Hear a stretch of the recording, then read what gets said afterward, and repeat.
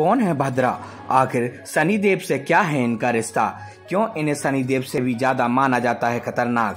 हम सभी जानते हैं कि अगर किसी व्यक्ति पर शनिदेव की कृपा होती है तो वह व्यक्ति रंग से राजा बन जाता है। तो वहीं शनिदेव राजा को रंग भी बना देता है। इसी प्रकार हम सभी जानते हैं कि भद्रा काल में कोई भी शुभ और मांगलिक कार्य नहीं किए जाते। ज्योतिषाचार्य पंडित पंकज पाठक के अनुसार लोकल एटीन को बताया कि जिस प्रकार शनिदेव जिस पर अशुभ दृष्टि पड़ जाती है, उसका जीवन नर्क हो जाता है। उसी प्रकार उनकी बहन भी है, जो कि शनिदेव से ज़्यादा खतरनाक मानी जाती है। तो आइए विस्तार से जानते हैं कि भद्रा कौन और कैसी है।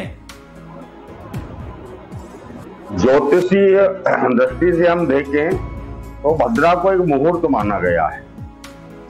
जैसा कि आपने सुन रखा होगा कि जब होली पर होलिका का दहन किया जाता है। या सावन की पूर्णिमा के दिन हम रक्षा बंधन मनाते हैं। तब विशेष रूप से विचार किया जाता है कि भद्रा काल के बाद, अर्थात होलिका दहन के समय भद्रा ना हो तो राखी बांधते समय भद्रा ना हो। अर्थात यह एक मुहूर्त इसको ज्योतिषीय गणना में माना गया है। भद्रा के कई नाम हैं। धन्या, दधिमुखी, महामारी, असुरक्षयकारी और खरानना। इसके अलावा और बारह नाम इस भद्रा के बताए गए शनि की अशुभ दृष्टि जिसके ऊपर पड़ जाए, उसका जीवन नर्क हो जाता है ऐसा हमने सुन रखा है। उसी प्रकार शनि की जो बहन है भद्रा इसका स्वभाव भी वैसा ही है।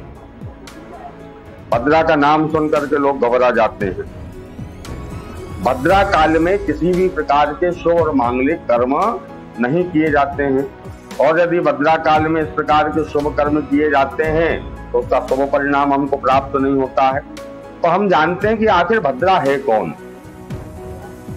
सूर्य और छाया की पुत्री का नाम भद्रा है, और शनि की इनको बहन कहा गया है। शनि की तरह क्रोध स्वभाव है, राजा को रंक बनाने की भद्रा में क्षमता है। भयंकर स्वरूप है बड़े बड़े दांत विकराल दांत हैं बड़े बड़े लंबे केस हैं, उससे रंग काला है। जन्म के समय ही ये सारे संसार को खाने को दौड़ी जब इसका जन्म हुआ तो जन्म के साथ ही इसने कई यज्ञों को नष्ट कर दिया और सारे मांगलिक कार्यों को भंग कर दिया। और इसका स्वभाव बड़ा विचित्र है। लोगों के कार्यों को बिगाड़ना इसका कार्य है। सूर्यदेव की पुत्री है। तो सूर्यदेव ने इस प्रकार उसको कुरूप देख करके और इस प्रकार का विचित्र स्वभाव देख करके उनमें उनको बड़ी चिंता हुई इसका विवाह में किसके साथ करूँगा। कई देवताओं से उन्होंने संपर्क किया। उसके स्वभाव, उसके स्वरूप को देख करके देवताओं ने विवाह के प्रस्ताव को जब ठुकरा दिया तो भगवान सूर्य देव चिंतित होकर के ब्रह्मा जी की शरण में गए। ब्रह्मा जी को सारा वृत्तांत सुनाया। तब ब्रह्मा जी ने निराकरण किया और भद्रा को आशीर्वाद दिया कि तुम हमेशा अशुभ नहीं रहोगी। भद्रा को मांगलिक कार्यों में और शुभ कार्यों में स्थान भी दिया। बब, बालव, तैतिल और कौलव, कौरव नाम के जो करण हैं, इन करणों के साथ समय के मध्य में सातवां स्थान भद्रा को दिया। अर्थात भद्रा को भी एक उन्होंने ब्रह्मा जी ने मुहूर्त माना। और कहा कि तुम हमेशा अशुभ नहीं रहोगी, जिस लोक में तुम रहोगी, उस लोक में तुम्हारा प्रभाव जो है, वह अशुभ होगा। तो ज्योतिष पीयूष ज्योतिष के पीयूष धारा नाम के ग्रंथ में लिखा है, स्वर्गे भद्रा शुभम कुरियात पाताले च धनागमम मृत्यु लोके स्थिता भद्रा सर्व कार्य विनाशनी।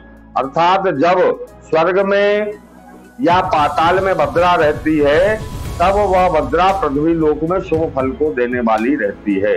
अर्थात स्वर्ग लोक में जब भद्रा रहेगी और पाताल लोक में भद्रा रहेगी तो आप पृथ्वी लोक में सारे प्रकार के शुभ कार्य करिए। जब भद्रा पृथ्वी पर नहीं रहती है, तब पृथ्वी पर सारे प्रकार के शुभ कार्य, मांगलिक कार्य किए जा सकते हैं। तो चर प्रवृत्ति होने के कारण यह कभी स्वर्ग में वितरण करती है, कभी पृथ्वी पर वितरण करती है, कभी पाताल लोक में निवास करती है। इसके साथ ही साथ ज्योतिषी ग्रंथों में बताया गया है कि कर्क, सिंह, कुंभ और मीन के चंद्रमा में पृथ्वी पर भद्रा को अशुभ नहीं माना गया। वृश्चिक मेष दस मिथुन के चंद्रमा में भद्रा को स्वर्गलोक की माना गया है। धनु, कन्या तुला, मकर के चंद्रमा में उसको पाताल लोक की माना गया है। जब प्रतिभा जब भद्रा पृथ्वी पर नहीं रहती है, तब पृथ्वी पर सारे शुभ कार्य किए जा सकते हैं। लेकिन एक विशेष बात यह है कि भद्रा काल का कोई भी आप शुभ कार्य करने जा रहे हैं, मांगलिक कर्म करने जा रहे हैं, यज्ञादि कर्म करने जा रहे हैं तो निश्चित ही भद्रा का आपको विचार करना चाहिए।